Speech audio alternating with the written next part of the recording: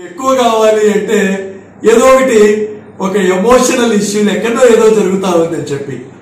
ముఖ్యంగా ఈ సందర్భంగా అంటే మాకు సంబంధం లేకపోయినా. ఇప్పుడు ఫర్ ఎగ్జాంపుల్ మొన్న రెండు రోజుల కిందట ఒక ప్రెస్లో నా ఎమ్మెల్సీ గారి మేనల్లుడు అని అన్నారు. నాకు రియల్గా నాకు ఒక బ్రదరు ముగ్గురు సిస్టర్స్. సామాన్యంగా మేనల్లుడు అంటే తన సొంత చెల్లెలకు కొడుకులను మేనల్లుళ్ళు అంటారు.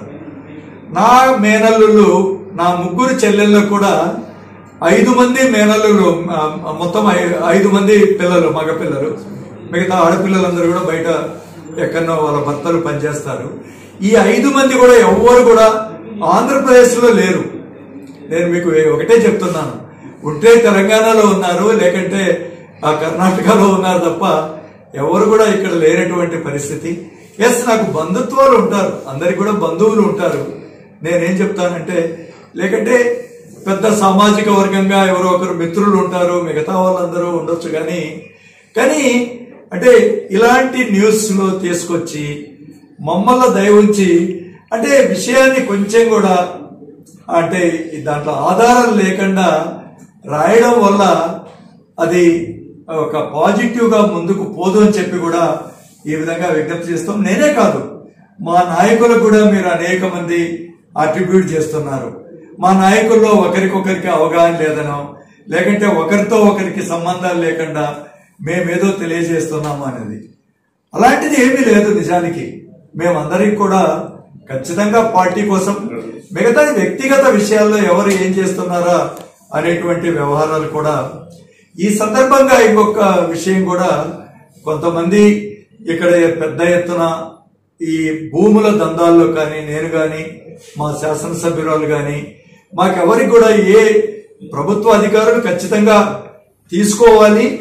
ఏదైనా కూడా వాళ్ళు ఏ చర్యలు తీసుకున్నా కూడా చట్టబద్ధంగా మేము ఎక్కడ కూడా ఎవరి విషయంలో కూడా ఇంటర్ఫియర్ కారు కాము అనేటువంటిది కూడా ఈ సందర్భంగా తెలియజేసుకుంటున్నాను. ఇంకొక విషయం కూడా ప్రెస్లో మీడియాలో వచ్చింది. అసలు ఇక్కడికి ఆర్డీఓ ఆఫీస్ తీసుకురావడమే మీకందరికీ తెలుసు. గౌరవ ముఖ్యమంత్రి గారు ఉన్నప్పుడు సార్ ఆర్డీఓ ఆఫీసు మా బద్వేలుకి రావాలి అని చెప్పి నేను బహిరంగ సభల్లో వారిని వారిని రిక్వెస్ట్ చేయడం. మిగతా చోట మరి సబ్ డివిజనల్ ఆఫీస్ పెట్టకపోయినా కూడా బద్వేల్లో తీసుకురావడం. అందులో కూడా ఒక డైరెక్ట్ రిక్రూటీ ఆఫీసర్ను వెయ్యి వెయ్యండి సార్ మీరు ఇక్కడ అని చెప్పడం కూడా మేమే ఇవన్నీ జరుగుతూ ఉంది. ఇవన్నీ గౌరవ ముఖ్యమంత్రి గారి యొక్క దూరదృష్టి వలనే జరుగుతా ఉంది. అంతేకాదు నేను చెప్పినట్టుగా zero to eighteen kilometre lining ఆరు వందల కోట్ల రూపాయలకు వారు లైనింగ్ వర్కులు ఇచ్చారు.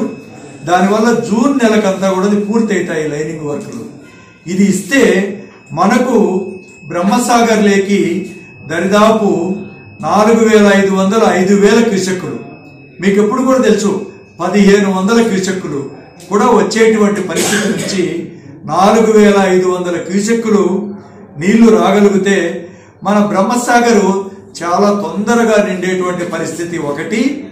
రెండోది కూడా ఇది ఒకటే కాకుండా ఏదైతే కుందు నది మీద నుంచి లిఫ్ట్ తీసుకొచ్చేటువంటి పథకం కూడా అతి తొందరలో కూడా స్టార్ట్ చేయగలిగినప్పుడు మనకెప్పుడు కూడా అంటే మూడు వందల అరవై రోజుల్లో కూడా మన బ్రహ్మసాగర్లో నీళ్ళు ఉన్నప్పుడు మన ఏరియాకు నీళ్ళు ఎక్కువ ఉన్నాయని బాధపడాలి తప్ప నీళ్ళు ఇన్ని నీళ్ళు వద్దు సార్ మాకని చెప్పి అలాంటి సమస్యలు ఏమన్నా వస్తాయేమో తప్ప మరి అలా కాకుండా మరి ఈ సాగునీరు విషయంలో పుష్కలంగా తాగునీరు విషయ- విషయంలో పుష్కలంగా ఉంటాయని చెప్పి కూడా నేను ఈ సందర్భంగా తెలియజేసుకుంటున్నాను. మీకు అందరికీ తెలుసు మున్సిపాలిటీలో